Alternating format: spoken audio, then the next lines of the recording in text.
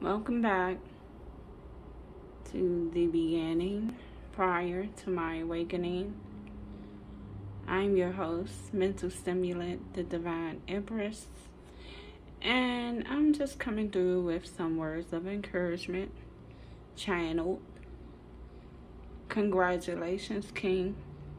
You made a great and wise decision. I'm here to tell you to continue to push forward fearlessly. I know that the specifics may be confusing, but at this time you should continue to lean on your faith and constantly purify yourself and your space for protection from dark magic. The ancestors and spirit guides surround you